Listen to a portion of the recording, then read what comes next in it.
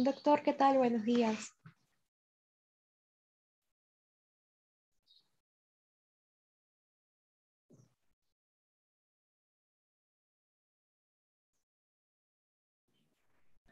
Valeria, buenos días, ¿cómo estás? ¿Qué tal, doctor? Ya, te voy a llamar por teléfono para coordinar este tema, ¿ya? Sí, sí, perfecto.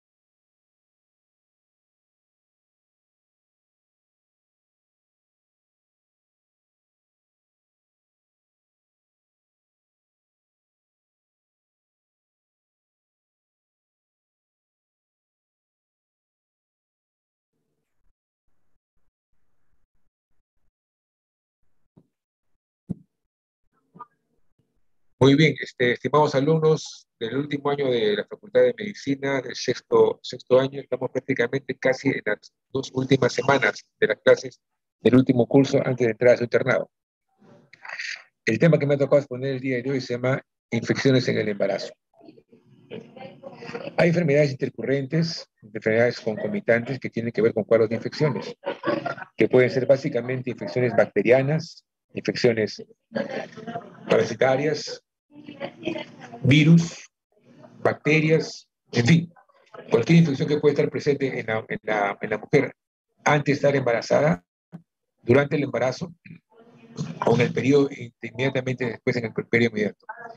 Vamos a tratar de exponer en esta clase cómo repercuten estas infecciones, bacterias, virus, hongos o parásitos en el curso normal del embarazo, en el curso del el compromiso en el feto y también por los trimestres de gestación.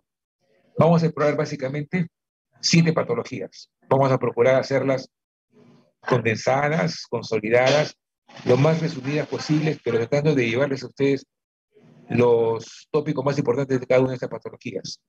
Por supuesto, si vamos a hablar de cada una de ellas es prácticamente como una clase, pero vamos a hacer el consolidado de todas esas siete patologías más importantes que ocurren en el embarazo para que ustedes tengan algunas nociones importantes o necesarias sobre cómo manejarlas cuando tengan la oportunidad de estar con una paciente con cuadro infeccioso.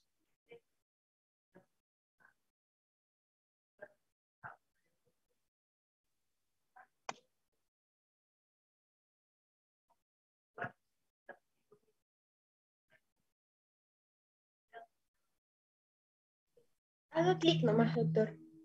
O si no, con las flechitas del teclado. La flecha del video. ¿Dónde? Se perdió.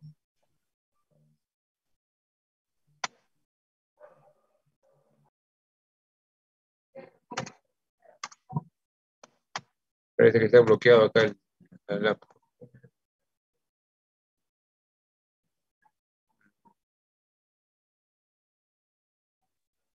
O si no, puede compartir de nuevo. No hay ningún problema. Vamos a ver, claro, creo que eso va a ser el tema.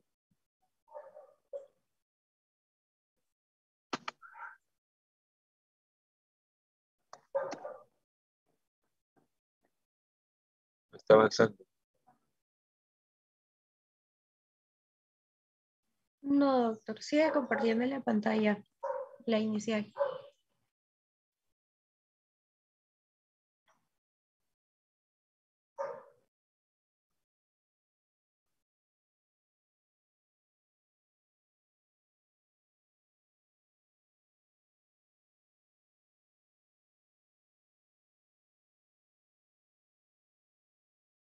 Estos problemas tecnológicos siempre están ocurriendo en el último momento. ¿verdad?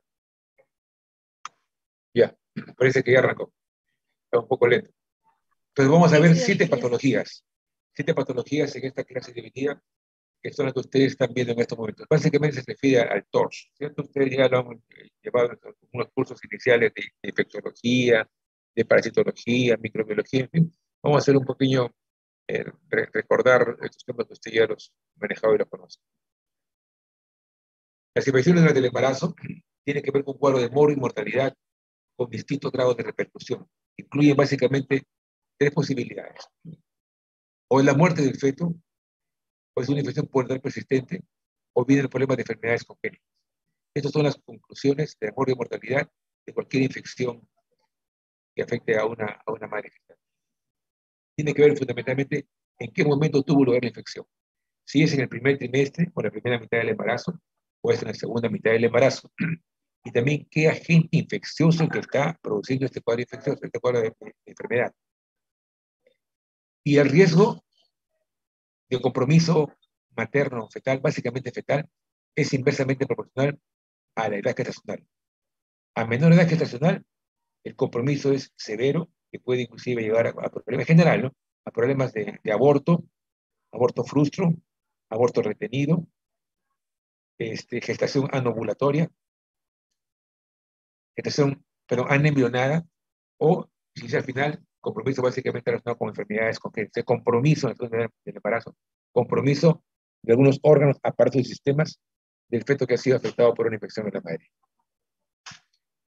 ¿Cuáles son las vías de transmisión? Intrauterina, intraparto y de recién nacido, prácticamente en el parto o en el perperio inmediato. ¿De qué tenemos las dos vías de transmisión? Que son transplacentarias. Tenemos aquí básicamente todo lo que puede ser tra- este, transmitido por vía transplacentaria. Virus, bacterias y protozoarios. Y por vía ascendente, básicamente por relaciones sexuales.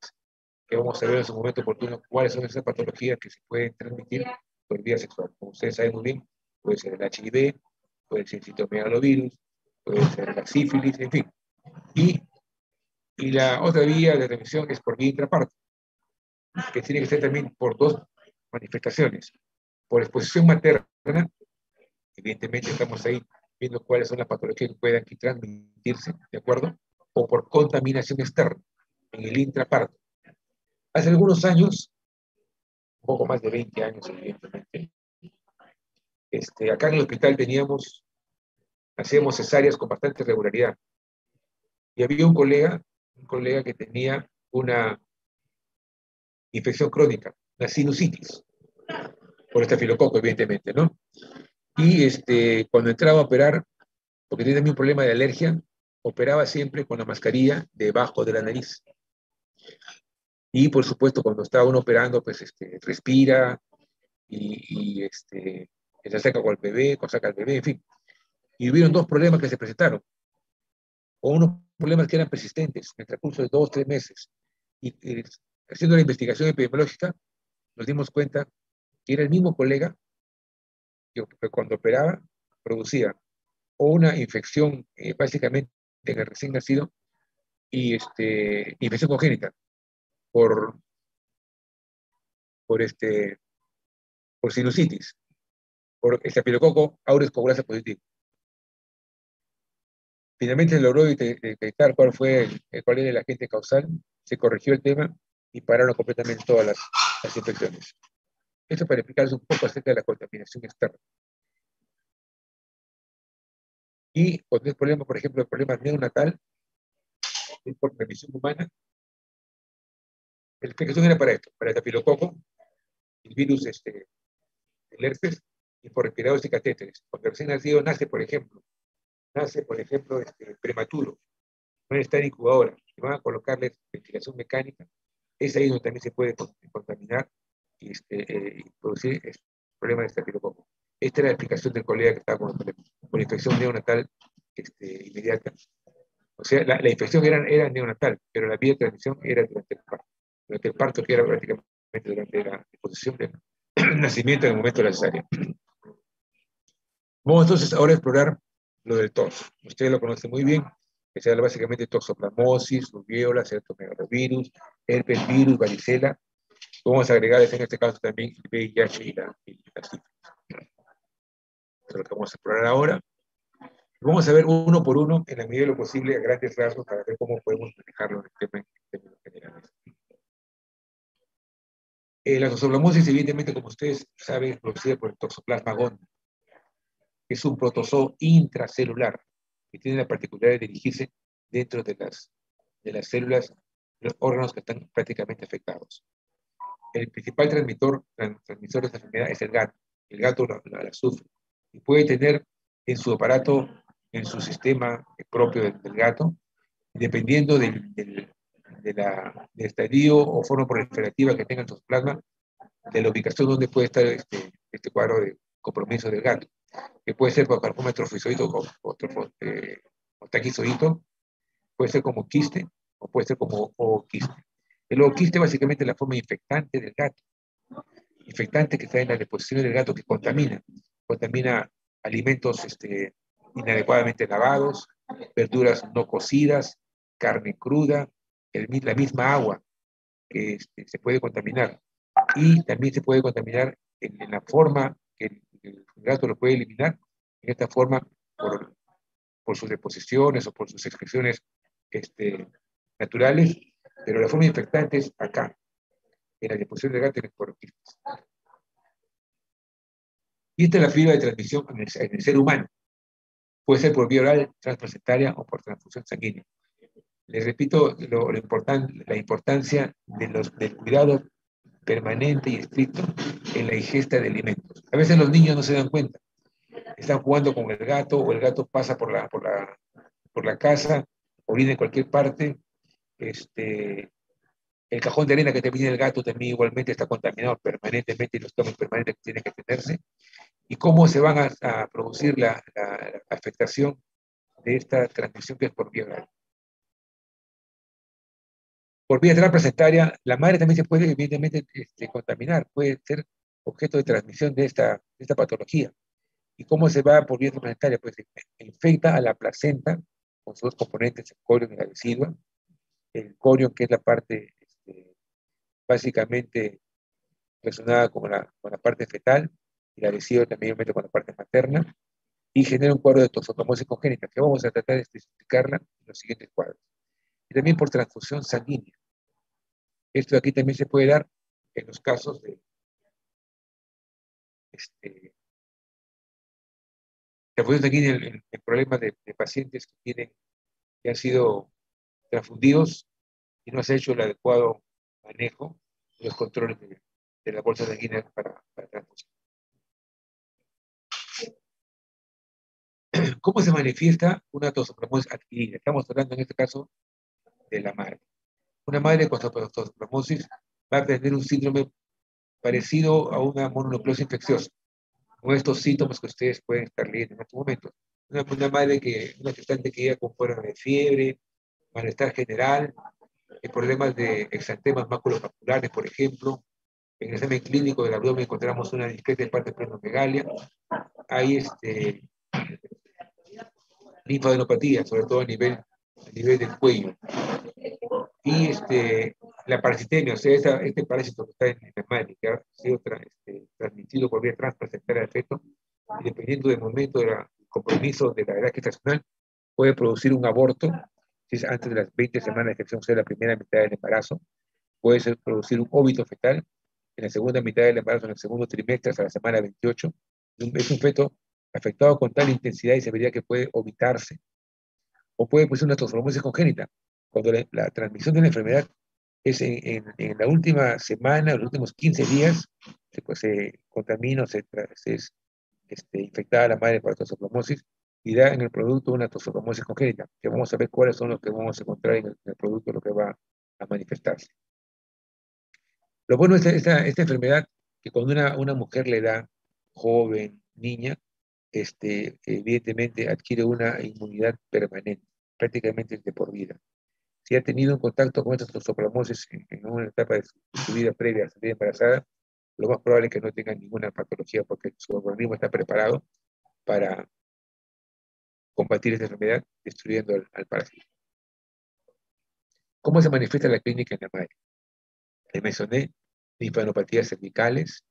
Este problema acá que a veces se, se va básicamente con, con, este, con cefaleas, a veces la paciente refiere que por tensional muchas veces, o fibromialgia, con problema también tensional, o problemas también al deglutir los alimentos.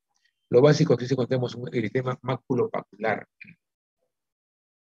este, que también se va a manifestar probablemente en el feto cuando el feto adquiere, recién nacido ya, una infección congénita. En el último, el último mes de la, de la madre puede adquirir la, infección y que no haya tenido una infección previa.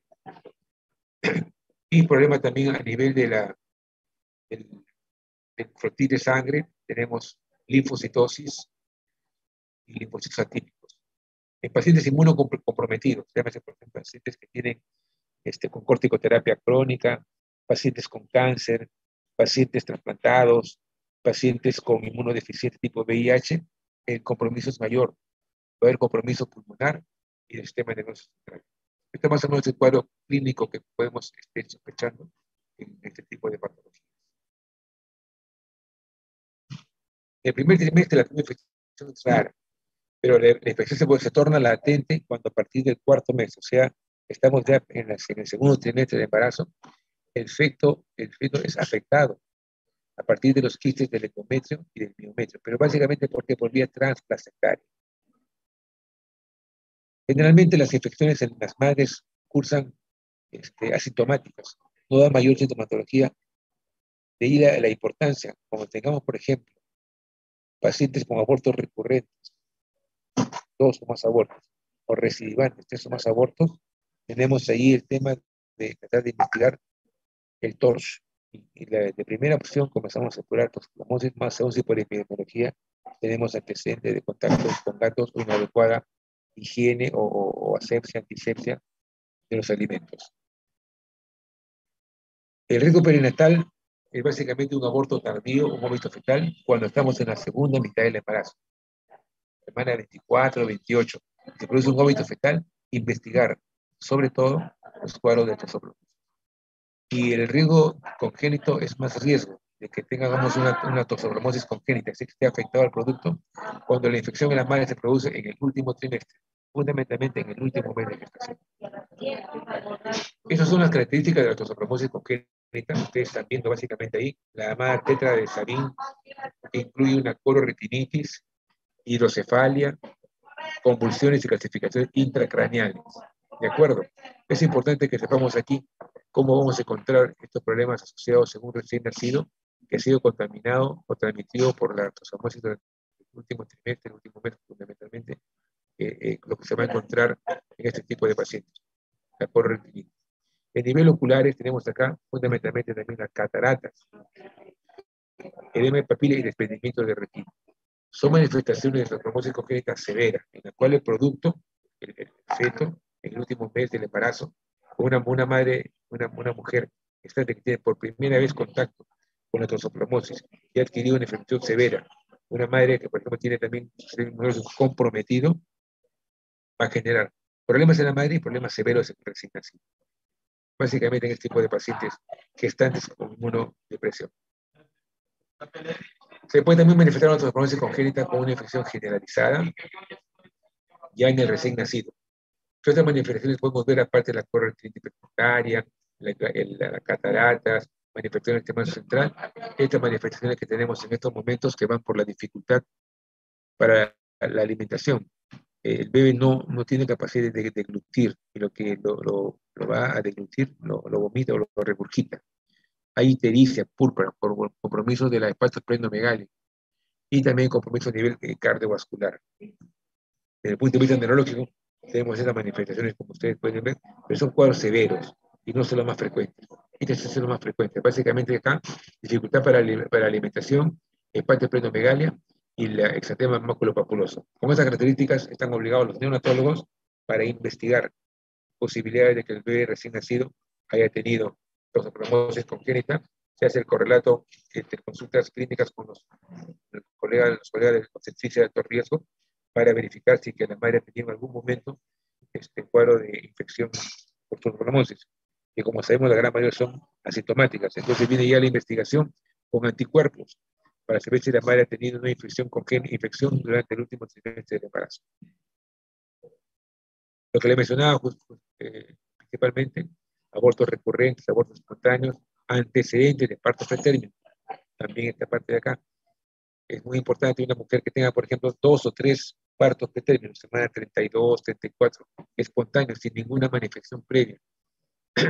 Y que el, el recién nacido haya nacido con manifestaciones leves que no ha sido evidentemente diagnosticado oportunamente por neonatología, eh, tenemos la obligación de, investigar en general todo el torso y fundamentalmente la parte de toxoplasmosis.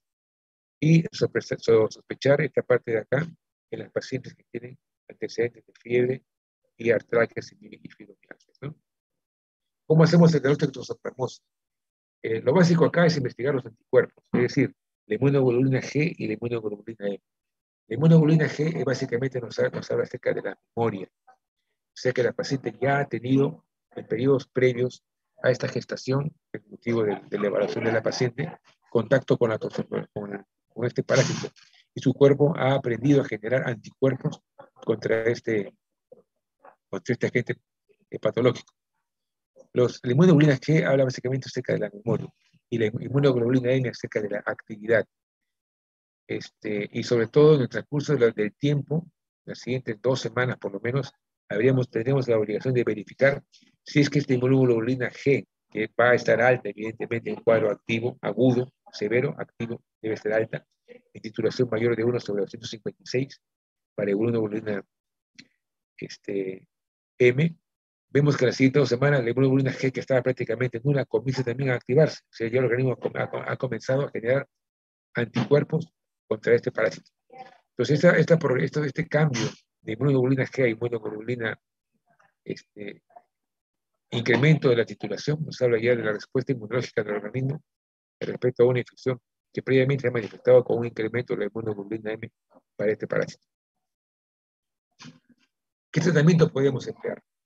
Tratamiento que podemos emplear básicamente la espiramicina, que es un conjunto de dos medicamentos, que es la robamicina y el robogil. Esta espiramicina se puede emplear desde un gramo a dos gramos cada 8 o cada 12 horas, dependiendo de la severidad de los síntomas. Se, se tiene que emplear con un esquema terapéutico que tenemos en estos momentos. Igualmente, podemos emplear la, la pinimetamina, que es un medicamento antiparasitario. Es un, es un, es un antibacteriano, ¿de acuerdo? Pero de acá es el, anti, el antiparasitario, que se puede emplear básicamente, que se emplea para problemas de malaria o paludismo este, y, pero no emplearlo, ojo, durante el primer trimestre de embarazo. La pirimetamina es un medicamento que, es este, eh, que altera la síntesis del ácido fólico del parásito, o sea, prácticamente lo, lo destruye apenas comienza el parásito queriendo este, replicarse. Pero lamentablemente la pirimetamina empleada en el primer trimestre también actúa negativamente en la fase de, de replicación de, las, de las células del, del producto. En el primer trimestre, las células, las, las estripes que tenemos que son básicamente relacionadas con el ectodermo, mesodermo y endodermo hasta la semana 8 aproximadamente. ¿De acuerdo? Entonces tenemos que manejarlo bien. Debemos también agregar ahí la sulfadiacina, que se emplean 3 gramos a 4 gramos al día, equivalente a 50 a 100 miligramos kilogramos peso al día, durante 3 semanas consecutivas. Son 4 dosis al día, cada 6 horas. Y por último tenemos acá el ácido fólico, que es este, para contrarrestar en, la madre, básicamente, el compromiso severo de la parte de la, replicación celular, cuando se utilizan la síntesis del ácido fólico, los folatos, este, y evitar que se hagan problemas relacionados con la eh, replicación celular.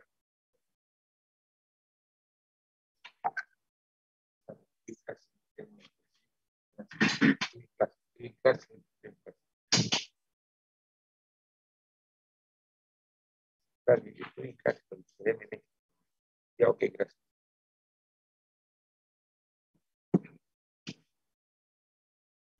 Y el ácido fólico se emplea 10 a 20 miligramos al día. ¿ya? Durante tres semanas alternando con tres semanas de estiramicina. Eso es, es un intercambio. Durante tres semanas damos pirimetamina con sulfadiacina y ácido fólico. Descansamos eh, tres semanas, acabamos y luego alternamos con espiramicina, que es el medicamento que estamos mencionando, el, el, el, antibiótico para complementar el manejo terapéutico. Prevención. Básicamente la medida de control que hemos mencionado. ¿Cómo se, cómo se transmite? Pues evitemos los mecanismos de transmisión. Tenemos ahí la forma de, de, manejarlo. Cuidar este cajón de arena que, que, maneja el gato, cambiarlo permanentemente si tenemos gatos en casa. Ojo, el lavado y cuidar los alimentos, no alimentarse con carne cruda, evidentemente, o con carne poco cocida, parrilladas inadecuadamente preparadas, y el lavado permanente con los utensilios superficies que tienen contacto con la posibilidad de transmisión de, de este, de este agente. El siguiente tema que vamos a ver ahora es, se refiere a la rubiola. Estamos hablando básicamente del torso. Son generalidades que ustedes ya la, han manejado. Estamos viendo aquí en esta, en esta lámina una enfermedad básicamente este, con manifestaciones a nivel de piel, exantemática, contagiosa, es benigna en la están, pero durante el embarazo, sobre todo en el primer trimestre, el último trimestre, puede, puede producir graves repercusiones, muy, muy graves repercusiones. Entonces, en ese sentido, tenemos que saber qué cosa lo que tenemos que hacer para el diagnóstico y tratamiento momento oportuno. Igual que también en el caso de la toxoplasmosis, la rubiola también nos da una inmunidad permanente, inmunidad de por vida. Esta cor este, también se refiere a las primeras láminas que, que manejamos inicialmente. La infección fetal es el 80% en el primer trimestre. O sea, si va a infectarse el feto y la madre está infectada con rubiola, una madre que no haya tenido contacto con la rubiola previamente en el embarazo, previamente antes de ser embarazada, el 80% va a haber infección fetal y el 20% va a estar infectado en el tercer trimestre. La tasa de afectación, o sea, en la cual el producto está afectado, es el 25% en el primer trimestre del embarazo, o sea, el feto se afecta. Y en menos del 1% se va a afectar el feto cuando estamos en el último trimestre del embarazo. ¿De acuerdo? Entonces, es inversamente proporcional a la edad gestacional, en cuanto a la infección, también en cuanto a, la afectación. Fuentes de infección de la, de la madre. Este, aquí hablamos inicialmente de una madre que no ha tenido probablemente contacto con este, este virus de la rubiola. Tenemos ahí que ver hasta 10, hasta 7 días después de la rubiola, de la, de la cutánea, recordemos que son máculas, afecciones dermatológicas, máculas, pápulas eritematosas y pruriginosas, este, se va a presentar este tipo de problemas de contagiosidad, infección. Los lactantes con rubiola congénita igualmente van a dar, sobre todo en el último trimestre de embarazo, y por vía transplacentaria. Lo que le mencioné, la relación inversa de compromiso de afectación e infección fetal respecto a la gestación. Transmisión de 85% en las primeras ocho semanas de gestación y se va a manifestar cómo? Entre las nueve y o sea, en el primer trimestre del embarazo, cuando el compromiso acá, mencioné que era amplio el compromiso, va a manifestarse con un aborto o un feto muerto entre las nueve y 12 semanas. Y la transmisión a la, a la semana 2023 va a generar muy potencialmente problemas relacionados con óbito fetal o este compromiso fetal de tal grado que antes de la semana 28 se produce el parto con un producto prematuro, eh, infectado severamente de forma aguda, que puede también terminar en un recién nacido eh, muerto. El modo de transmisión es básicamente respiratorio, son las áreas ofaringes infectadas, y clínicamente se manifiesta eh, a nivel de la, de la madre con esta, con esta forma que vamos a rescatar acá el sistema máculo papular, como si fuera un resfriado, un resfrío simple, sencillo, que puede comprometerse con un problema mayor, dependiendo de la cantidad de anticuerpos que puede tener la madre en previa.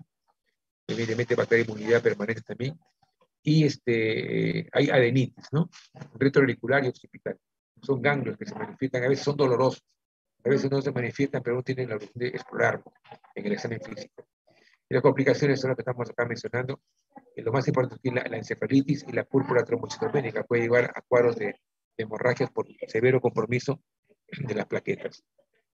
Y a nivel del perinatal, como mencionaba, puede ser un aborto, aborto fetal, o malformaciones congénitas que son manifestadas en el segundo trimestre del embarazo y el producto no, no ha sido evitado, no, no se ha producido el óbito fetal o la muerte o la, o la expulsión con un aborto. Entonces el compromiso es, fetal que va a generar malformaciones que vamos a ver en las siguientes láminas. O sea, es un compromiso de afectación fetal, sí hay evidentemente, es el 25% en la primera mitad del embarazo, y va a generar afectaciones fetales este, sin llegar, que no haya llegado a la muerte o fetal, pero sí va a ser afectado posteriormente. ¿Cuáles son los, los de una rubiola congénita? Tenemos acá el síndrome de Gref, oculares, a nivel del sistema nervioso central, encefalitis, es un cuadro también muy severo. Hay trombocitopenia, trombocitopenia en sangre, este, y vamos a tener aquí en el abdomen un espacio esplenomegalia. Son las manifestaciones más importantes, pero un, un, un, fetito, un recién nacido con este, congénita va a generar aquí muy probablemente cataratas y ducto persistente, que son las manifestaciones que se ven en un recién nacido sin tener otras manifestaciones. El, el neonatólogo está en la obligación de descartar dentro de su protocolo de trabajo los problemas estamos con rubiola congénita. Estas son en general las manifestaciones que vamos a tener en caso de rubiola congénita. Lo más importante que tenemos acá y lo que más, lo más frecuente son las cataratas o glaucomas. Tenemos acá los problemas de trombocitopenia severas, ictericia, a veces se descarta también los problemas de compatibilidad ABO, también tenemos que descartar acá los problemas de rubiola congénita. Y los problemas además de cardiopatías, que no son frecuentes, pero cuando se presentan, tenemos la obligación, los neonatólogos, perdón, de descartar esta posibilidad de una tosopomosis congénita. Acá tenemos un niño recién nacido con cataratas, con exantema maculopapular, y como también se manifiesta aquí con una hepato, hepatomegalia. ¿no? Son manifestaciones que también se llevan también con ictericia y exantema maculopapular. Son manifestaciones clínicas de la, de la Importante acá la adenopatía retroauricular suboccipital, que vamos a encontrar en un hemograma, lo que se va a encontrar en toda manifestación de infección viral. Leucopenia, o sea, menos de 5.000 leucocitos por milímetro cúbico de sangre, y linfopenia, aumento de las plasmáticas, incremento de los eosinófilos y plaquetopenia. Acordémonos de la hepatoesplenomegalia y los problemas de, de, este, de anemia por, por disminución de las plaquetas, sangrados, hemorragias. El diagnóstico, análisis de embarazada, y tenemos acá, importante. Al nacimiento se ve en el producto del recién nacido como la inmunoglobulina M implica actividad, está alta. Rubiola, inmunoglobulina M, en el recién nacido, alta. A las dos semanas aproximadamente, porque se mantiene durante los primeros ocho meses de vida, se manifiesta ya títulos de refuerzo o de incremento de la inmunoglobulina, inmunoglobulina G respecto a que se ha generado ya anticuerpos contra, contra esta patología. Y para la detección del virus se hace este, por reacción en cadena de la polimerasa para detectar la, la fracción del RNA del virus en la, en la sangre del, de la paciente infectada, la madre o en este caso del, del producto, que se tiene que manifestar con cuadros eh, asociados clínicos y de, este, de laboratorio con detección del, del, virus. Las pruebas serológicas, básicamente por método de LISA, para detectar anticuerpos con inhibición de la hemaglutinación. Determinación de hemoglobina M antirrubiola. G de memoria y M implica actividad. Un paciente, una paciente que tenga una, que habiendo sido infectada infectada por rubiola en la infancia, en la adolescencia, está gestando y lamentablemente tiene un problema de inmunodepresión o inmunocompetencia por corticoterapia, por problemas relacionados con neoplasia, por trasplantes o por este, enfermedades crónicas eh, que comprometen su sistema de inmunidad, y que tenga una antidosaje de anticuerpos de inmunoglobulina G que implica memoria menor de 1 sobre, sobre 16, ojo, esta paciente está muy susceptible a poder contraer la enfermedad. Una titulación mayor de 1 sobre 256, o sea, prácticamente 8 veces más de anticuerpos, prácticamente es una defensa completamente integral ante una probable infección. Y la positividad de la inmunoglobulina M implica una infección reciente, activa. No hay tratamiento específico antiviral, perfecto. Sin embargo, tenemos aquí, hay que considerar la posibilidad de un aborto terapéutico. El aborto terapéutico se realiza, ampliando un poco el concepto. Hay abortos este, inducidos, evidentemente de embarazo, en los casos de uh, gestación embrionada, aborto frustro o aborto retenido, en fin, o aborto terapéutico cuando las condiciones de una determinada enfermedad comprometen severamente el estado de salud física y o mental de la madre, creando complicaciones y repercusiones en su vida futura. El aborto eugenésico no está permitido. Sin embargo, en algunas circunstancias, hay una ley del año 2014, junio de 2014, donde nos dice que hay 13 condiciones que se pueden considerar para hacer la interrupción de un embarazo en la cual hay compromiso severo, con severo daño o riesgo muy alto de de óbito fetal o de compromiso materno posterior, el compromiso de grave salud de, la madre en la cual se puede interrumpir el, embarazo. En estas circunstancias hay un consentimiento informado, una solicitud por parte de la pareja, la madre y el esposo, un consentimiento informado, una junta médica, y cuando el riesgo es sumamente alto en la madre de comprometer grave o severamente su estado de salud física o mental, o que se produzca un óbito fetal en el producto por el compromiso que se ha encontrado básicamente por ecografía de todos los problemas asociados con, un recién nacido con alto riesgo de un parto pretérmino inmaduro o, o de óbito fetal. Luego de una junta médica se puede realizar la, la, interrupción, la interrupción del, del, embarazo. El tratamiento básicamente para, para la, la madre, este, y para, básicamente para la madre tenemos esos tipos de problemas. Una gestante con compromiso severo de su la prevención se puede dar, sí, con la vacuna triple, que es para sarampión, rubiola y parotiditis, que se da a los 15 meses de nacido en los 11 años de edad, evitando, por supuesto, evidentemente, este, eh, si la, mujer nunca ha tenido libertad para ser este, próxima a una potencial gestación, evitar salir embarazada en los, en los, tres meses siguientes, que es el tiempo que demora en que la, la inmunidad normal de, de la paciente puede tener la suficiente capacidad como para evitar de que se pueda infectar o comprometer el estado de salud de ella. La eficacia es prácticamente cercana al 99% y la duración de la inmunidad, al igual que la sopromosis, es permanente, de por vida.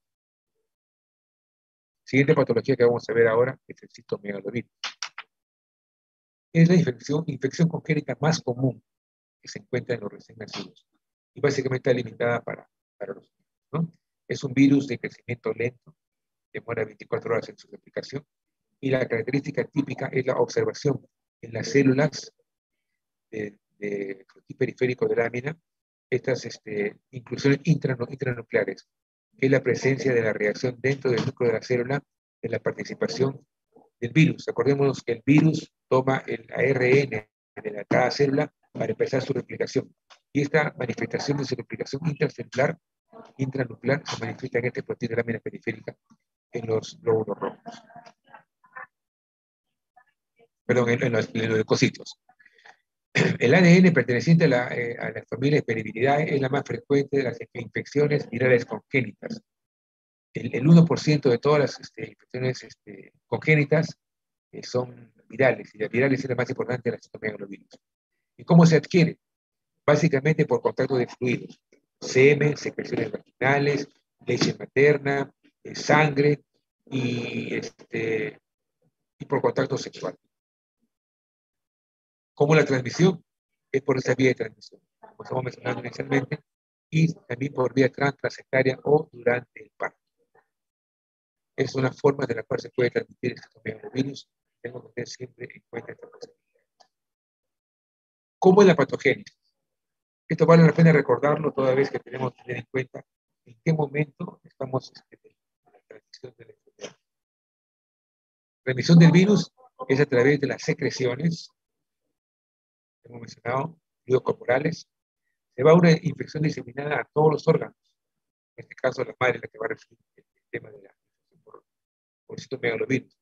Y se va básicamente en una inmunidad creada por las células y es, son los linfocitos infectados que atraviesan la placenta y van al feto por la circulación útero-placentaria fetal y pueden destruir o hacer parte del ADN celular, que representamos en células en forma de ojo de búho.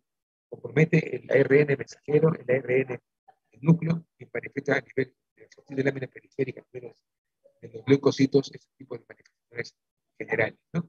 Esta forma de manifestación me pasa a, a través de, de los de la, de la placenta y llega a circulación fetal por vía de la vena umbilical. Acordémonos que a nivel citrofobrato y sin citrofobrato que nos va manifestándose el crecimiento y desarrollo fetal para el aporte a través del adhesivo endometrial de todo el aporte de nutrientes, oxígeno y cosas para el feto, es donde también puede ser transmitido el citomegalovirus.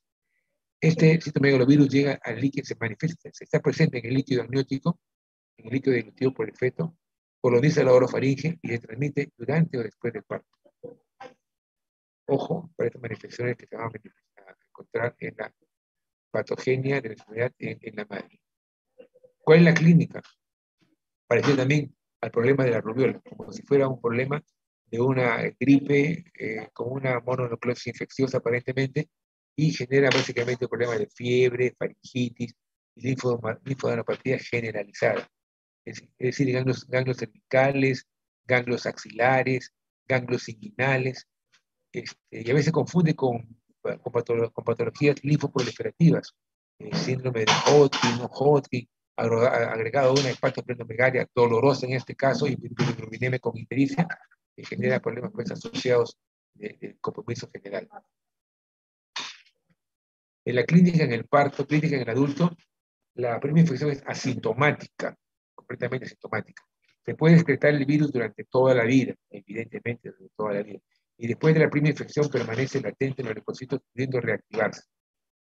Ojo, cuando bajan las defensas, cuando eh, la inmuno, este, de una persona se ve alterada por este, trastornos relacionados con enfermedades crónicas consultivas, por, este, por corticoterapia crónica, por enfermedades de colágeno, este, por empleo de, por patologías tipo HIV, por ejemplo, ese virus permanece y se reactiva.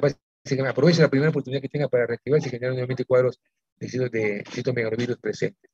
Y se manifiesta desde el punto de vista general con estas características que ustedes están viendo, que son generales, son este, patologías virales generales que no nos van a decir específicamente si corresponde o no a citomegalovirus. De la importancia que tenemos que investigar cuál es el potencial agente patógeno que está manifestándose en este, este momento en constante. Si el citomegalovirus se da en el inicio la produce graves secuelas. Graves secuelas como corretinitis, como eh, cataratas, calcificaciones este, intracraneales, son secuelas graves. Y cuando se da un problema perinatal, básicamente no son muy graves, pero vamos a verlo básicamente con, ¿no? con pequeños para la nacional o restricción al crecimiento intrauterino. Este, y como se transmite por vía, pues, este, por fluidos corporales, no se debe relatar a un recién nacido cuya madre es portadora de megaloviosis. ¿Cuáles son las características del citomegalovirus congénita? Son bastante parecidas también a la rubiola. Acordemos que ambos son problemas virales, pero acordemos también que el citomegalovirus es la, la infección viral más frecuente. Pensar siempre en un citomegalovirus como infección viral en un recién nacido con estas características que ustedes están viendo acá en, la pantalla de los problemas eh, intestinales, endocrinos, genitourinarios, cerebrales, celulares, la catarata, la atrofia óptica, en fin. Primero pensar en un citomegalovirus y en segundo lugar en una rubiola. Pero ambos por ser virales son los que producen generalmente compromisos en todas las esferas. Como hemos visto acá en este esquema general, cómo se va manifestando todos estos este, cuadros clínicos en un recién nacido, que dependiendo del compromiso agudo y severo de la madre, una madre, como le mencioné inicialmente, con compromiso de su inmunidad y que esté presente en el último trimestre de embarazo, sobre todo en el último mes de gestación, y que adquiere cualquier otra enfermedades virales, rubiola o citomegalovirus, el producto van a ser con una virosis congénita, que puede ser por rubiola o puede ser por citomegalovirus, con todas esas manifestaciones, en mayor o menor grado, dependiendo del compromiso que haya tenido la madre. Manifestaciones neonatales iguales, expresiones aquí, expresiones básicamente de, este, de alteraciones a nivel de piel, mácula, pápulas eritematosa, pruriginosas, hepatoplenomegalia, alteraciones aquí tenemos también acá calcificaciones este, cerebrales, anomalías dentales, atrofia óptica.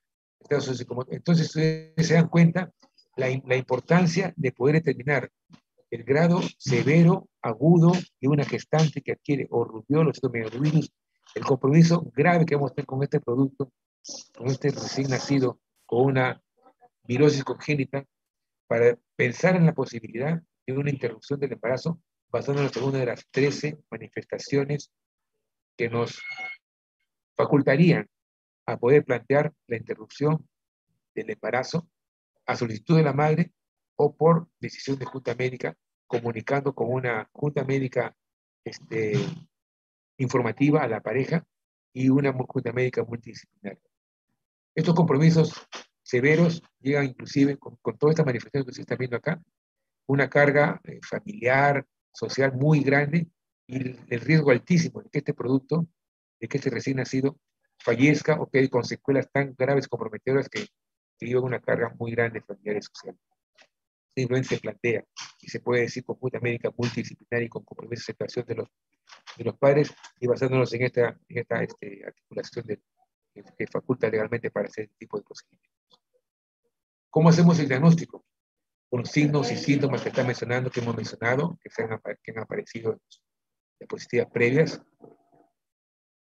Y básicamente, con la, aislar el, virus en, los cultivos, la prueba de la anti, antigenemia por la inmunofluorescencia indirecta y por la reacción en cadena de la polimerasa.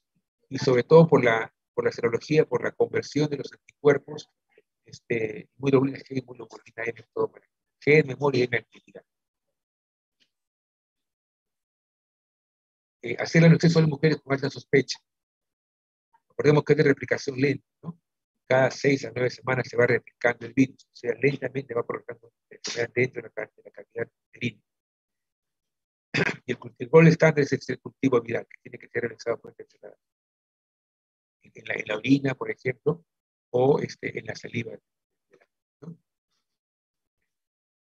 En el citomegalovirus, básicamente, ¿qué tratamiento se va a emplear? El ganciclovir, que 5 miligramos por kilogramo de peso cada 12 horas durante todas las semanas. No, lo bueno es que no produce teratogenicidad. Hay que hacer estudios controlados respecto a, los cambios de inmunidad de la madre, que va a producir básicamente la inhibición de la replicación viral. Sin embargo, en el recién nacido, eh, no va a, suprimir la replicación viral temporalmente, pero no va, mejor dicho, suprime la replicación viral, pero no previene las secuelas a largo plazo que son las que hemos visto en las láminas anteriores. Todas estas manifestaciones, si la, manifestación en la madre es aguda, severa, el producto va a tener todos estos compromisos mayores. Las secuelas a largo plazo son ya evaluación del pediatra o del neonatólogo respecto al manejo de la enfermedad. Lo básico es saber manejar el cáncer COVID, que hay este, Hospital Nacional de Defensa y también tenemos acá en La prevención es básicamente que no está, no está contraindicada este, con virus muertos atenuados y debe la mujer evitar embarazarse, igual también que para la rubiola, los siguientes tres meses. Acordemos que son virus de replicación lenta que pueden demorar seis o nueve semanas, pues damos tres meses para, aplicar la respuesta de inmunidad en la madre. Y esto es una pequeña manifestación de que el virus también está saludando en época de pandemia también con poquito. Es un artefacto.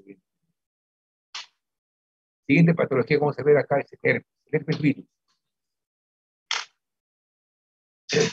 Es básicamente la presencia de vesículas. Vesículas a nivel de la, cavidad oral, bucoral, y también a nivel de los genitales. Son llenas de un líquido claro sobre una base inflamatoria. Son sumamente este, manifestantes con, con dolor, ardor y una incomodidad permanente, sobre todo para la, para alimentación y para la dilución de alimentos. La vía de transmisión, tenemos dos vías de transmisión. El virus, este, herpes simple tipo 1, por cuántas salidas tenemos acá. Y el virus tipo 2, que es prácticamente por vía sexual y por canal del parto. Ambas manifestaciones le pueden dar a una mujer gestante o no gestante para poder tener compromiso a nivel del compromiso fetal. Este, los virus causan efecto lítico directo. Acordémonos bien cómo establecen sobre todo su, lugar de, replicación a nivel de las neuronas y se ocultan en la, respuesta inmune.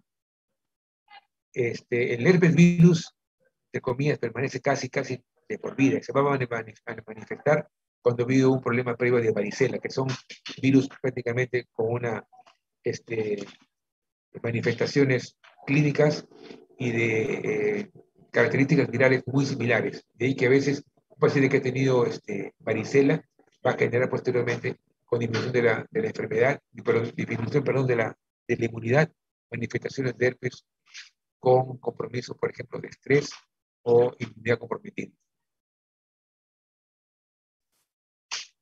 Eh, la infección asintomática puede ser asintomática o puede ser sintomática. A nivel del virus eh, del herpes este, tipo 2, tenemos acá la cervitis herpética a nivel genitales y a nivel este, que se va a manifestar en infecciones severas, evidentemente, ese tipo de, manifestaciones, sobre todo la meningitis en, en gestantes inmunocomprometidas. Una gestante que su probabilidad está completamente conservada, no va a haber ningún problema, evidentemente. Y los problemas de estomatitis con el virus de, tipo, tipo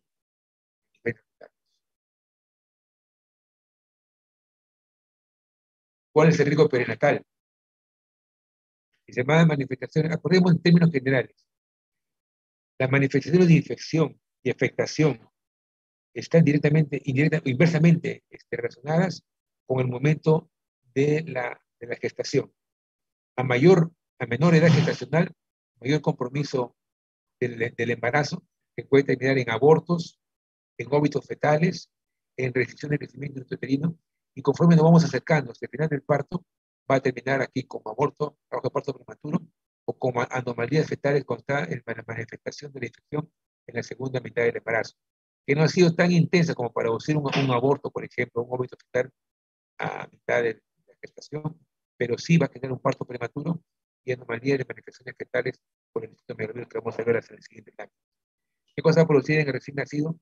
Básicamente este tipo de acá. Conjuntivitis, convulsiones y cuadros de hepatosplenomegalia. ¿Se dan cuenta ustedes cómo estos problemas virales generan alteraciones en todo el organismo del feto?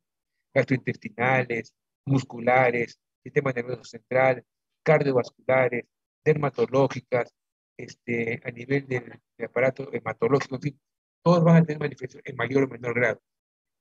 Y sobre todo la ruptura de estos virus. Pero en este caso, el también va, a generar manifestaciones acá de pato o sea, del sistema retículo material, también a nivel de general de, la parte de El 25% de una mujer este, infectada va a tener un aborto de las gestaciones, o la, diferencia, una restricción de crecimiento uterino. ¿Cuáles son los defectos congénitos? Un, un recién nacido cuya madre ha sido infectada, no comprometida en el último trimestre, el último mes sobre todo, esta manifestación que tenemos acá. ¿De acuerdo? la microcefalia, la encefalitis, siempre nacido. Ojo, investigar también los, los, nematólogos cualquier tipo de infección bacteriana, que son las que realmente van a producir, pero concomitantemente también hace la exploración para todo lo que se refiere a inmunoglobulina G y inmunoglobulina M de las manifestaciones de enfermedades virales. Acordemos que el virus tipo 1 va a nivel de boca, ojos y piel. El virus tipo 2, el tipo 2, va a, a la vía de transmisión, que básicamente por vía sexual que tiene que ver básicamente también los fluidos corporales. ¿Qué cosa va a producir acá? Hepatoplenomegalia. Esa es una de las cosas muy importantes que en la cual se considera como factor asociado para, para evaluar la posibilidad de interrupción del embarazo, cuando tenemos este riesgo altísimo, un producto que, que se ha generado con microcefalia, hidranencefalia, imagínense usted, una, un, un feto que se ve por ecografía, donde tenemos acá, donde prácticamente esta, esta este, ventrículo megal inmensa, a expensa prácticamente toda la corteza cerebral, deja este, toda la corteza prácticamente sin capacidad de crecimiento y desarrollo. Y las alteraciones de encefalitis y sepsis a punto de partida del sistema central que comprometen gravemente la, vida del, recién nacido. Son puntos a considerar para ver el tema de interrupción del embarazo. Y sobre todo también aquí, la necrosis hepática se puede manifestar también por ecografía con alteraciones de zonas de hipercondensación a nivel del hígado fetal. El diagnóstico, eh, tenemos acá, dolor, y tema de vesículas, que se puede también aliviar a nivel de la, vagina, el cuello uterino, este, y dolor y el tema. Pero el estándar, ¿cuál es? Es el cultivo, el cultivo de herpes. Eh, y se puede también identificar por reacción cadena por ingreso en el raquidio y este, por ELISA para, para verificar este, la inmunoglobulina G, inmunoglobulina Aquí también por inmunofluorescencia directa también se puede encontrar. Este caso, de En la madre, el tipo 1 produce orolabiales circulares, es asintomática en un 90%, pero lo básico es que son, son lesiones sumamente este, eh, incómodas, ¿no? por decirlo menos. Ardor, prurito, dolor, dificultad para, para comer, para hablar, hasta para tomar bebidas este, líquidas. También pero el herpes tipo 2 es simplemente infección genital. En ambos casos se va a producir infección, porque estos son problemas virales que tienen eh, manifestaciones hematológicas, sistémicas en la madre. Una madre comprometida desde el punto de vista de inmunodeficiencia va a generar fácilmente el pasaje de este virus a través de la placenta y compromiso fetal. Pero quiero un tipo, tipo 2, cuando la, vía de transmisión es básicamente por vía sexual. Acordemos también de los fluidos corporales, al igual que la, la Tratamiento, aquí tenemos que acordarnos una cosa muy importante, este, ver el curso normal del embarazo. Estamos en un periodo en la semana 32, 30, 28, 29 semanas, en la cual tenemos la posibilidad de poder emplear ya la maduración eh, fetal, no solamente maduración pulmonar fetal, es una maduración integral, maduración este, fetal con el empleo de corticoterapia, que ustedes ya van a ver en sus clases efectivas, eh, el tratamiento es básicamente con aciclovir. Son tabletas que tienen ya muchos años de, manejo y que han, demostrado su eficacia terapéutica a través del tiempo. La nemoténica, la nemoténica es sencilla. Las pastillas, las tabletas vienen de 200 miligramos y se dan 5 veces al día durante 10 días consecutivos. En caso de, la infección que tenemos. Este, pero está contraindicada durante el primer trimestre, evidentemente por los riesgos de teratogenicidad eh, se puede emplear, por ejemplo, 7 de la mañana, 11 de la mañana, 3 de la tarde, 7 de la noche, 11 de la noche, 5 veces al día durante 10 días consecutivos. Y para evitar infecciones, este, complicaciones de recién nacido, sobre todo en el momento de la transmisión, que sea por el, canal vaginal, en los casos de virus tipo 2, se recomienda programar a una cesárea electiva cuando tengamos la evidencia en un segundo periodo de gestación, semana 34, 35, cuando vemos ya producido la maduración fetal, eh, programar una cesárea electiva para este, disminuir el riesgo de, infección en el recién nacido con manifestaciones mayores de la toxicomosis, perdón, de la herpes congénito. Una vez que el bebé nace, ya los neonatólogos pueden manejarlo directamente en forma ya este, específica para el tratamiento del, del herpes virus. En caso de empleo de profilaxis, se puede emplear también a partir de la semana 36, donde la posibilidad de terapia prácticamente están prácticamente nulas. Pero sí damos la protección al, feto. Íntimamente ligada desde el punto de vista genético, la varicela con el, con el herpes virus, íntimamente ligada a las dos. Entonces, ¿cómo podemos manifestar este tipo de, de, de problemas? Una paciente que ha tenido, que ha tenido este, varicela, joven, no gestante, una primera infección, la recurrencia va a ser el herpes zóster, cuando su sistema inmunológico queda comprometido. Eh, la varicela zoster es muy, muy baja incidencia durante el embarazo y las manifestaciones que dan no son tan severas como por ejemplo el caso de la rubiola o el citomegalovirus. Y la, este, el parentesco genético viral hace que este virus permanezca en, el sistema retículo endotelial y ante la baja de las defensas se manifiesta en el torrente circulatorio y comienza a dar este, manifestaciones generales de lo que hemos mencionado inicialmente de la madre, eh, como, en el, como en el feto, un potencial de embarazo de hija. Eh, la transmisión vertical este, durante el, el, parto, evidentemente, este, el contagio es 48 días antes de las manifestaciones de las máculas, pápulas eritematosas proliginosas, hasta que las vesículas se hayan formado postras, y la complicación más, más frecuente de la infección de la madre es una neumonía. El caso, por ejemplo, de una varicela en una madre inmunocomprometida. La repercusión neonatal es básicamente en función del compromiso viral, de la cantidad del inóculo, del volumen en la, cual la, madre gestante, portadora, en este caso este, de, la, varicela, haya tenido la posibilidad de infectar a su, a su, feto. ¿Cuáles serían los síntomas que va a dar la varicela congénita?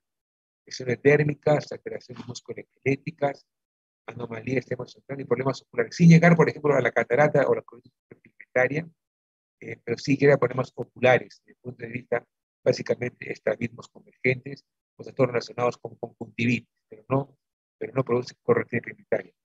Y se manifiesta también en unos casos de restricción del crecimiento intrauterino cuando el bebé, el producto tiene un, percentil menor al 10% comparado dentro del esquema de, de, la ganancia de peso que debe tener el producto en determinada edad cuando el percentil es menor al 10% de lo que debería corresponder a la semana de, estudio de la ecografía este, del embarazo.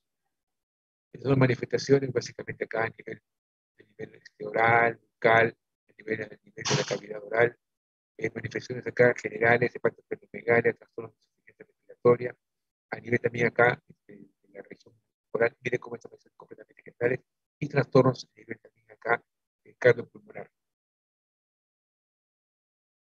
Cuando la lesión materna se produce siete, días previos o posteriores al parto, el riesgo que se produzca la infección neonatal se incrementa. Una mujer que, se infecta por primera vez de varicela antes de la semana, pero la, la semana previa al parto, tiene un gran riesgo de que se presenten manifestaciones eh, integrales en el producto. Cuando la erupción tiene lugar tres semanas antes del parto, lo más probable es que el producto genere una varicela de grado moderado. Mientras más cercano esté el nacimiento y mientras más este, fuerte sea la, infección por este, por este virus la varicela y esté la paciente inmunocomprometida, es más posible, más posible que el feto sea afectado con las manifestaciones que hemos mencionado en esta parte. ¿no?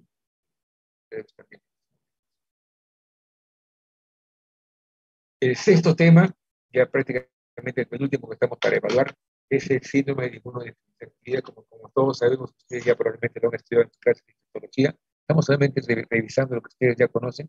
Es un este, retrovirus que afecta el sistema inmunológico, especialmente los tipo T, y produce infecciones oportunistas. En el Perú es más frecuente en las pacientes en población más joven, más pobre y más se ve en mujeres. Esa es la tríada clásica por la parte de epidemiología. En estratos socioeconómicos es más, más frecuente en, las, en pacientes de estados socioeconómicos pobres, D y E, en pacientes más jóvenes, por la promiscuidad muchas veces, y más, más frecuente en mujeres. Aunque últimamente, hace unos casi dos años, está ya este, comprometiéndose también a las esferas económicas superiores.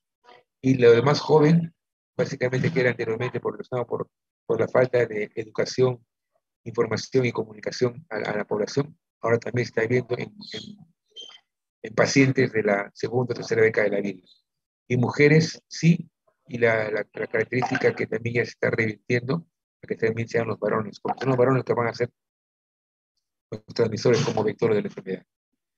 Ojo, los comportamientos de mayor riesgo, ustedes lo conocen muy bien, inicio temprano de la actividad sexual, la promiscuidad sexual, las cambios de, parejas este, muy frecuentemente, este, la homosexualidad, la no protección este, con preservativo, que es una forma muy adecuada de hacer una protección. Acordemos que este, casos severos, compromiso verificado, el uso de de doble preservativo, el consumo de, drogas este, son por, por, este, por vía este, parenteral, tipo este, heroína, en fin, y por vía este, materno-infantil, este, relacionado con durante el embarazo, parto o, o, la casa. Ojo, como se ve ahí, qué actitudes preventivas tenemos que tomar. Cuatro fluidos, sangre, semen, secreciones vaginales y leche materna. Es esto de acá, o secreción láctea, ¿no?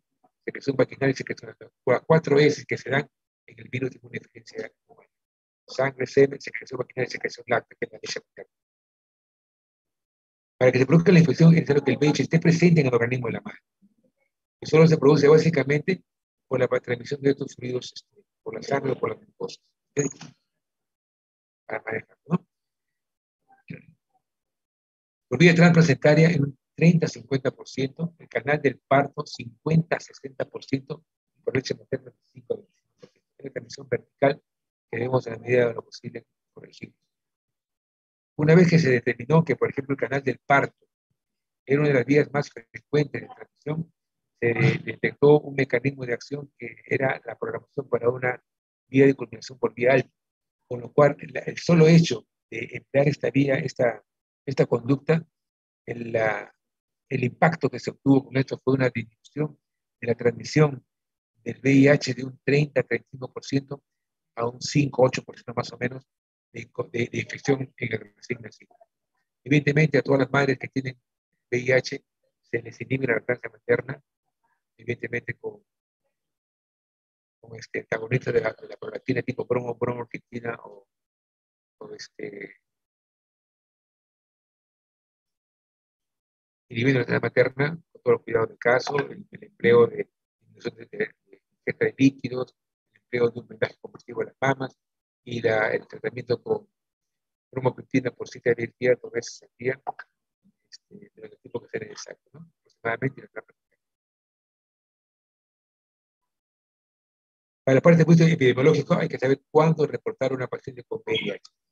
Tiene una prueba confirmatoria de pronto, evidentemente la tiene VIH. Estamos obligados a hacer la confirmación y la comunicación al sistema de epidemiología de la, de la unidad de salud a la cual pertenezcamos sea hospital, sea post, tenemos la obligación de comunicarlo. Para efecto de la profilaxis, la prevención, cuando la paciente infectada con VIH cumpla cualquier reciente condición, sea para prevención. Si tiene, por ejemplo, una prueba confirmatoria para VIH, este, confirmado por inmunofluorescencia directa por Western blot, sea prevención para la, la comunidad o para el círculo directo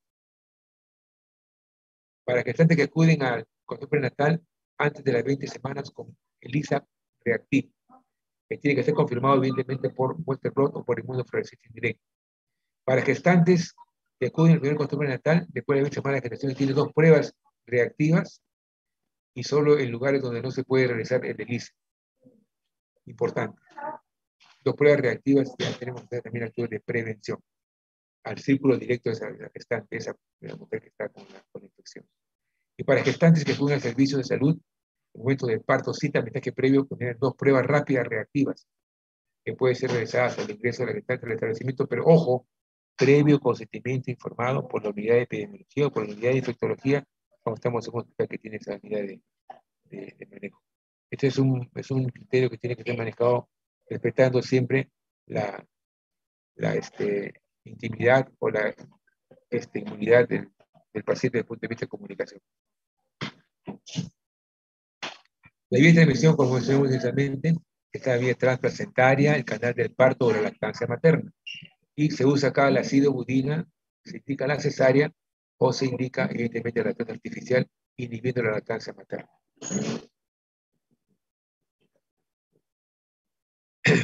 Eh, se debe emplear siempre la prevención con antirretrovirales, de la lactancia materna y se va a asegurar, justo lo que le mencionaba, la transmisión vertical prácticamente a un 7% como medida de impacto cuando se hace la cesárea y cuando se inhibe la casa materna.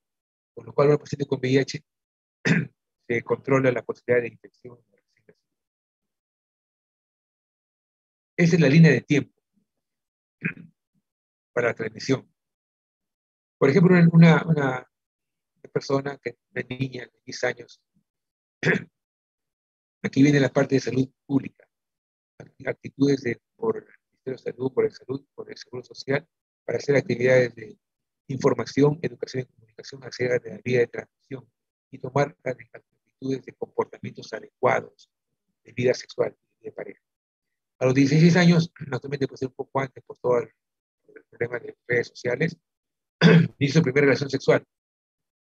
Y va a, va a pasar por unos 7 años entre la primera relación sexual y una potencial infección, que podría ser, es un, es un término general que se ha hecho por estudio de epidemiología, que 7 años después puede presentar una infección por VIH, sobre todo en pacientes con conductas de riesgo, con promiscuidad sexual, relaciones sexuales sin protección, cambio de pareja frecuentes. A los 7 años, generalmente, el virus sexual puede tener contacto con una paciente, una persona que tenga VIH y se infecta. Y viene ya vigilancia de la incidencia y aquí la prevalencia. Incidencia son los nuevos casos y la prevalencia son los casos presentes que se van manifestando semana a semana epidemiológica, cómo se van incrementando. Y luego de 10 años de incubación de enfermedad, a más o menos a los 33 años de edad, tenemos ya la vigilancia de casos. Por supuesto, en todo este tiempo ya ha sido tratado la, la paciente, en la cual se, ha hecho la incubación de la, de la enfermedad, mayores manifestaciones, ya se, manifiesta con el diagnóstico que ustedes lo conocen por todas las manifestaciones que hemos mencionado. Acá ya viene vigilancia de casos, como ya el manejo de, los pacientes con el carga, ¿no? terapia antirretroviral de gran actividad. Y aquí viene ya si que no se hace nada y la, la, la manifestación se ha dado posteriormente sin ninguna alteración desde el punto de vista general, la sobrevida del paciente con todo el problema que significa este, el manejo con los antirretrovirales, en los cuales las manifestaciones son ya severas y un severo compromiso de aparatos y sistemas como manifestaciones cardiovasculares, manifestaciones perdón, neumológicas, manifestaciones gastrointestinales, manifestaciones de alteraciones este, hematológicas y se produce cuadro en esta línea de tiempo sobre cómo se puede manifestar si no hacemos nada o lo que hacemos lo hacemos tardíamente. Ojo, son criterios de salud pública que también deberían conocerlos. Durante el embarazo, en la madre sintomática no había ninguna influencia. Pero tenemos que ver dos cosas fundamentales. El dosaje de CD4, o sea, los, los linfocitos CD, los CD4 que van a estar disminuidos durante el embarazo. Son los primeros que se afectan. Virus del HIV compromete el sistema inmunológico afectando la inmunidad celular. Y van a haber afectaciones de cuadros febriles, que son cada vez más, más frecuentes, más intensos y que demoran en ser corregidos. Los anti, anti, anti térmicos para la, la fiebre, tipo paracetamol, tipo este, van a demorar a hacer efecto, a veces no, no, no son efectivos. Y aquí este, tenemos que no hay evidencia de que sean causas de abortos, antimuertos, nacimientos prematuros, eh, presión de crecimiento uterino, sufrimiento agudo o malfunciones. No hay la evidencia en este caso del, del virus de deficiencia humana. Hay la infección, pero no hay compromiso desde este punto de vista. El diagnóstico de manifestaciones clínicas, una consejería pretest, esto crea un gran estrés intenso permanente en el paciente, una consejería post-test para ver el tema que se va a, cómo se va a manejar, y la confirmación por el Western blot y la inmunofluorescencia indirecta, eh, que es la confirmación de, la, infección. Eh, el SIDA, el tratamiento lo manejamos este, con antirretrovirales de por vida. Actualmente el manejo del, del VIH este, sin manifestaciones de, SIDA, inclusive con manifestaciones iniciales de SIDA, se manifiesta como esta terapia antirretroviral de gran actividad y se, se controlan como, con la carga viral dosaje de linfocitos del, CD, CD4. Esto actualmente ya se ve a nivel general epidemiológico, se puede manejar como una enfermedad crónica, como la, por ejemplo, la hipertensión arterial, la diabetes mellitus, y con un paciente que acuda permanentemente, en forma continua, a sus controles, a, las unidades de, epidemiología para registrar el caso, previa evaluación por infectología, para el tratamiento, y llevando una, una vida pues adecuadamente responsable respecto a su, vida de, pareja, lo más probable es que no tenga ninguna manifestación de este problema general que al comienzo, en la década de los 80, era presencia del VIH o SIDA de de muerte. Se crearon muchos mitos y leyendas, pero ahora se maneja mucho mejor. Considerando que la tuberculosis es una patología muy, muy frecuente asociada con la baja de, las defensas, se recomienda emplear la isoniazida como prevención del TBC y los menos hongos, la micosis, se emplea también el cotrimoxazol para este tipo de problemas. Ojo, estar atento a las infecciones oportunistas y a su complicación. El manejo de ácido budina, tanto para las están como para los recién nacidos, con los esquemas que vamos a explicarles en las siguientes láminas, que son importantes de conocer. Evitar la lactancia materna. O, recordemos, la, manifestación por la transmisión por fluidos, sangre, semen, patines, secreción de lácteas, son los que van a producir este tipo de problemas de transmisión. Si cortamos la lactancia materna y cortamos la transmisión por vía de sangre o por vía de transmisión de parto, disminuye la posibilidad de infección de la Esto es el, algoritmo general.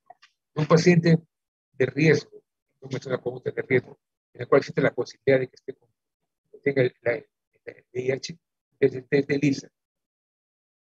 ELISA sale negativo, no pasa nada, Aquí viene básicamente la recomendación y actividades de, información, educación y comunicación para la paciente y para la comunidad.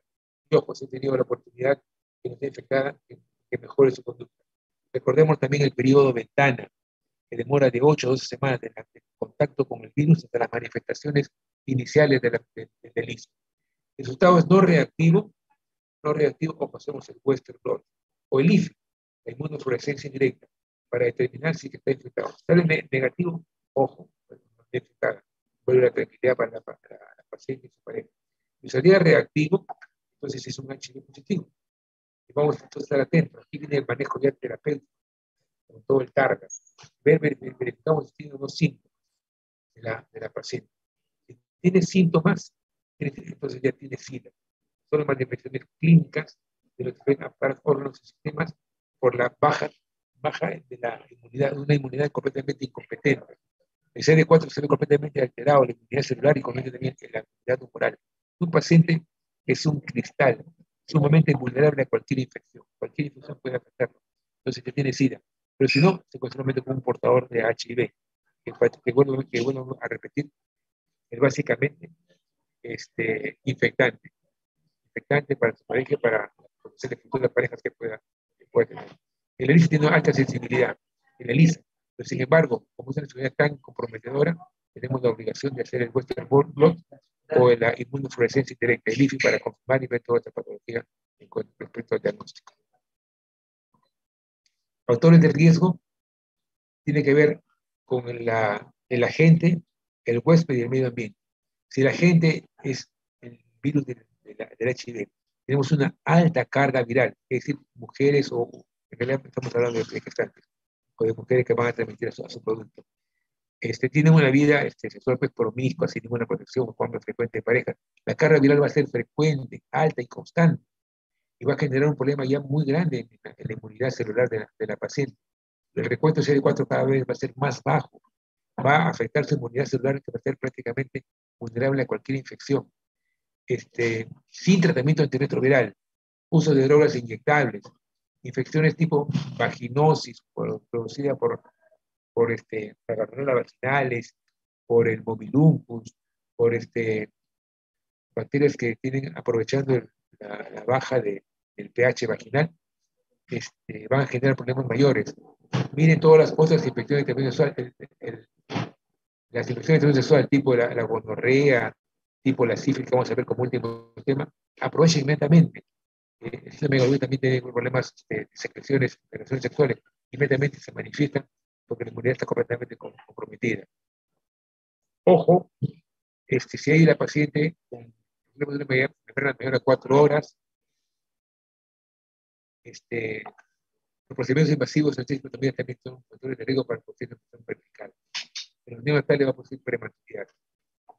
Casos en los cuales se manifiesta como una enfermedad enfermedad ya del, HIV. ¿Qué este, antivirales se pueden emplear? Básicamente los de categoría B, que son los inhibidores de la proteasa. Proteasas, el el el son este, los últimos este, que hemos tenido, que son mejores, evidentemente las posibilidades son mínimas de afectación de, este, problemas de teratogenicidad, uno, o de reacciones adversas a medicamentos, dos, o compromiso de secuela. Pero que se emplean bastante y que tienen actualmente vigencia es la acidobudina y la lamivudina, que son de categoría C, donde el riesgo puede existir, sí, pero no este, va a comprometer la, la viabilidad del producto. La acidobudina y la lamivudina son los medicamentos que se emplean a nivel de portas médicas, a nivel de centros de salud. No emplear esto acá. Se puede emplear en la, madre, sí, pero en, una mujer no gestante, pero no en una gestante porque tiene categoría X grave compromiso en la viabilidad del feto o de graves secuelas de teratogenesidad. En caso de una paciente con HIV, en la cual digamos, ha sido controlada adecuadamente con su carga, esté adecuadamente controlada con su dosaje de CD4, con carga viral menor, menor a 1000, como manifiesta acá, 1000 copias de replicación por centímetro cúbico, a las 18 semanas este, debe cumplirse el embarazo. Si es mayor a 1000, no, no este, con carga de copias, no, se conoce. O inicio de trabajo de parto con, con 4 y con semanas inter obligatorio. Obligatorio acá, definitivamente, no se va ser efectivo. Si la carga viral es indetectable tiene un, CD, un CD4 mayor a 800, o sea, una buena carga de respuesta inmunidad celular, se puede, se puede plantear el parto vaginal. Sobre todo una paciente que está con protección, ¿no? Con protección.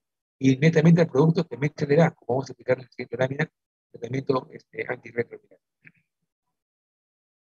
Se intentará el parto vaginal solamente en los casos en los cuales tengamos una carga viral a 1000 o indetectable, indetectable sería ideal, o una CD4 mayor a 800 se puede intentar carga de parto vaginal, sobre todo en aquellos lugares de postas médicos en salud que no tengan la posibilidad de realizar partos por vía necesaria. Ojo, el ácido budina se debe emplear 300 miligramos cada 12 horas por vía a partir de la semana 28. Eso le da a la madre. Hasta el inicio del trabajo de parto. Donde el trabajo de parto, el esquema cambia un poco. Se emplea igual tratamiento, pero no cada, sino cada tres horas, hasta el momento del corte del cordón umbilical. Miren cómo cambia el esquema de cada 12 a cada tres horas. Prácticamente se emplea ocho veces el trabajo de parto, no. Pueden emplearse cuatro o seis veces el trabajo de parto demora pues, aproximadamente 8 y 12 horas. O la nevirapina, nevirapina, acordemos cómo está la nevirapina, cómo está aquí la nevirapina que tenemos por acá, que también es categoría C, que podremos emplearla acá en una sola dosis, dependiendo del medicamento que tengamos disponible en la, en la posta médica, en de salud o en los hospitales en que estemos trabajando. El niño puede recibir nevirapina igual 2 miligramos de peso, también en una sola dosis, dentro de las primeras 32 horas de nacimiento. Cuando la nevirapina que es monodosis, nada más, si nos olvidamos del, manejo posterior. Pero cuando el ácido budina, hay que dar esa parte acá, 2 miligramos de peso cada 6 horas por 6 semanas. Entonces vamos a tener, entre comillas, secuestrado al recién nacido con un tratamiento que va a ser este, largo. El problema está cuando el recién nacido este, no, no sigue su tratamiento completo de seis semanas consecutivas. El riesgo de que pueda hacer infección posterior es mayor. Por eso que está propendiendo a usar la virapina como una sola dosis a nivel nacional. Lo mencionamos, la prevención actividades de epidemiología, cambio de comportamiento sexual, consejería, en fin. Y usar este, siempre este, la lejía para la contaminación de las zonas sanitarias de ¿no? Eh, las conclusiones tenemos acá, control de la gestante, la atención prenatal del parto y el posparto reduce la infección de recién nacido acerca de la conducta adecuada inhibir la casa materna y propender un parto por cesárea cuando tengamos un CD4 este, menor de 400 y una carga viral mayor, a 1000, o no conozcamos la carga viral, la lactancia materna que está inhibida y control de recién nacido. Y la última patología que vamos a ver acá se refiere básicamente a las nubes o la sífilis. Estamos acabando. Es producido por el treponema pálido y la sífilis tiene que ver mucho con enfermedad de transmisión sexual cuando la, la, paciente portadora, portadora de HIV, a disminuir su, su, este, su capacidad inmunológica, no tener una adecuada conducta sexual, continuando con promiscuidad y cambio de pareja, inclusive gestando, ojo, no son raras estas conductas, sobre todo en, las pacientes, en las mujeres de, este, estado social económico muy bajo. Y, sobre todo, el grado de fenómeno fetal depende del momento que la madre haya contraído la enfermedad. Puede ser el primer trimestre, segundo trimestre, tercer trimestre, para saber cómo va a ser la infección fetal en el producto si es que ha tenido la madre posibilidad de infección. El 25%, sobre todo cuando se produce la, infección antes de las 20 semanas, va a morir intraútero. Morirán en el postparto y recién nacidos vivos, también acá, y el 40% enfrentará sífilis cardíaco precoz. Lo conocemos acá, eh, se pone palio de bulo de vagina y cervix, y también puede eh, transmisión por vía transpaciental. El estadio, la sífilis tiene tres estadios fundamentales, hasta cuatro estadios. La sífilis primaria o chancro duro, que aparece a las dos o tres semanas de la infección, una pequeña úlcera de fondo gris ubicada generalmente en los labios mayores, a nivel del, del, glande, a nivel del subcutáneo prepucial, a nivel de la ingle, sobre todo hay adenopatías finales que, ojo, maravilla, desaparece a las tres semanas. El paciente no le da importancia, se cree curado, que no tiene absolutamente nada, vienen los problemas asociados a lo que viene la llamada sífilis secundaria, que aparece un buco cutáneo, que aparece más o menos a las nueve semanas de, de, de la infección. Y son lesiones tipo rociola o raso maculopapular en palmas y plantas. Son como monedas.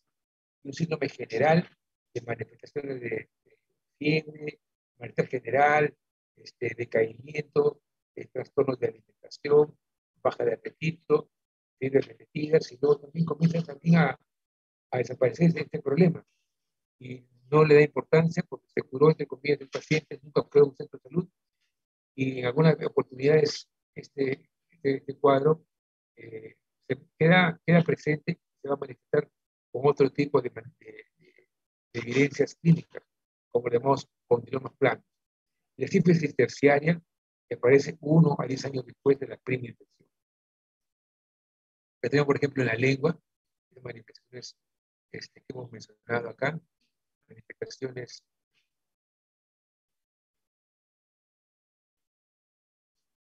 este, pápulas proliferantes que están externo muslo y manifestaciones acá en la lengua.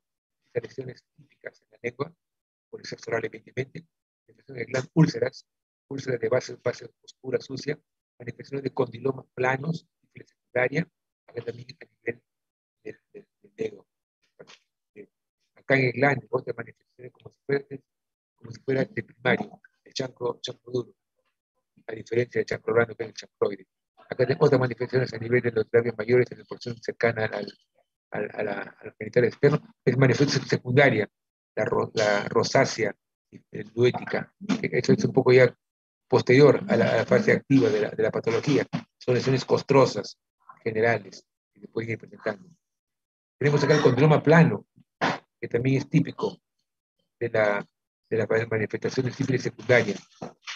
Ya pasó la primaria, estamos ya prácticamente los nueve meses o más. Aquí a veces la inmunidad mejora y esto queda como una manifestación muy discreta que no da importancia a la, la, la paciente. Pero sí hemos tenido una, una manifestación ya crónica, en la cual esos continuos planos han evolucionado a unas lesiones costrosas, que ya no son proliginosas, pero son manifestaciones, mire cómo está aquí también en la parte de los pies, en la parte de la mano, y también en la parte de la lengua, estas manifestaciones que tenemos acá, un poco de la luz no, no puede verse bien, pero tenemos acá manifestaciones de condilomas en la lengua por el sexo oral. tenemos también el recién nacido, parecido también, un periodo ya con manifestaciones de, costras, y aquí tenemos una lesión con una úlcera, con una base oscura con signos de necrosis. Estas son manifestaciones mayores, evidentemente, ¿no? ¿Cómo se diagnostica? Con el BDRL, Vendor Disease Special Laboratorio o el Rapid Plasma Reaging, que son manifestaciones, son este, exámenes de laboratorio que se realizan sin ninguna este, consejería y son prácticamente de, de, este, de rutina en la primera, el primer control que se realiza en la paciente en control prenatal, que incluye hemograma, examen completo de orina, glucosa creatinina, perfil de coagulación, grupo sanguíneo de RH y poblaciones de riesgo este, se pide el RPR o el BDR. Como screening, como si fuera una forma de detectar así este, a grandes rasgos qué pacientes pueden estar presentes y para ver básicamente el manejo del tratamiento. Tiene que ser lo más precoz posible. La, la prueba prácticamente este, eh, directa de con, confirmación de FTA-AP, ¿no? el anticuerpo treponema fluorescente de absorción y la prueba de inmunización treponema. Eh, habla básicamente de la, de la, confirmación. O la prueba de la, este, del estudio automatizado de microutilización del treponema pálido, también la prueba de ELISA. Son pruebas de diagnóstico, pero lo que más empleamos acá son el BDRL y el RPR. En caso de necesitamos confirmarlo, vamos para el FTA. Para la. En la sífilis produce trabajo de parto, pretérmino, muerte fetal e infección neonatal por vía transplacentaria. Esto es muy importante. Una paciente que tiene LUES, que lo ha adquirido en la última trimestre, como todas las patologías que hemos, que hemos mencionado, tiene grave riesgo de generar infecciones o compromisos severos en el recién nacido.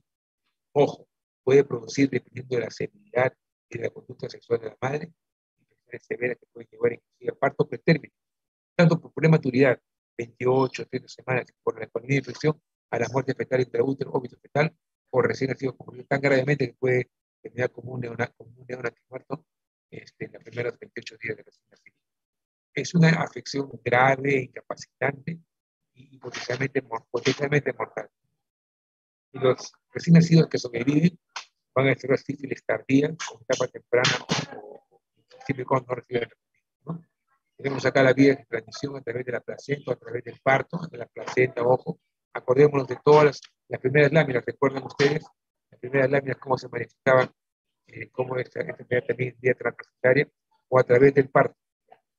Por eso se, se recomienda no tratada oportunamente verificar la forma de, de, afección por vía, este, por vía alta.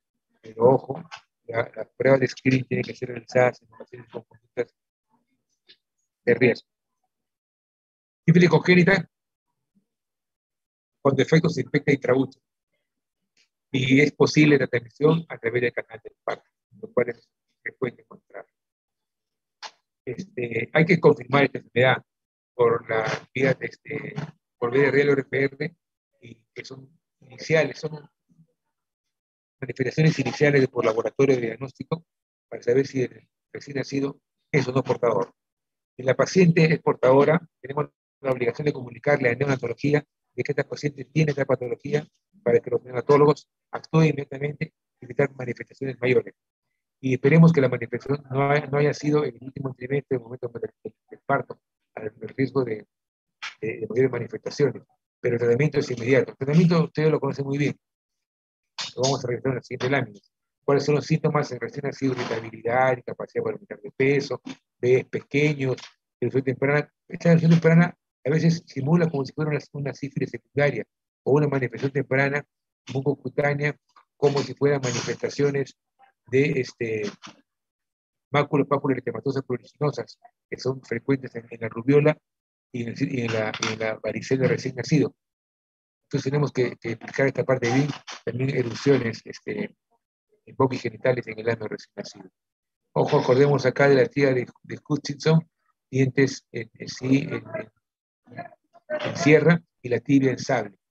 Es muy importante esto haciendo acá. Y más compromisos de la visión y la visión es una este, repercusión grave en el recién nacido.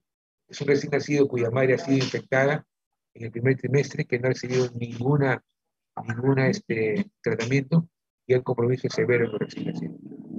Tratamiento, penicilina G benzatínica, 2.4 millones, dosis única, en la sífilis primaria, secundaria y la latente precoz. Igual para las gestantes. 1.2 millones cada nalga. O semanal por tres semanas. Dudas tardía. Conocida. O fase latente. Que también son gestantes. En los sífilis de 3 a 4 millones, cubriendo venosa cada 4 horas, por 14 días. Y la alternativa, el toxiciclina. 100 miligramos por 14 días. Pero ojo, la doxiciclina es una tetraciclina que puede producir trastornos, eh, efectos adversos en el recién nacido. Junto con tetraciclina. Eso tiene que ser empleado como tratamiento preventivo. Entonces, en resumen, lo básico es la penicilina química clínica, eh, para tratamientos de dosis única o por tratamientos este, Y por último, como mensaje final para, para ustedes es, puedas cambiar de opinión.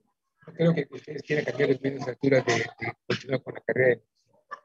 Cambiarán su aspecto, cambian respeto todos los el transcurso de los años de la vida.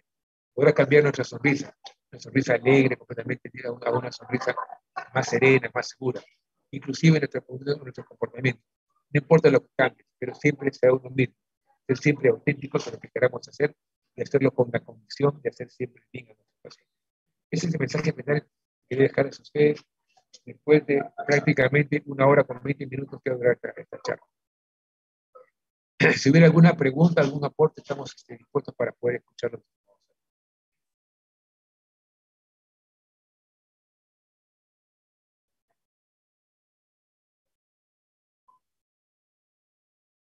Valeria, ¿alguna pregunta, algún aporte?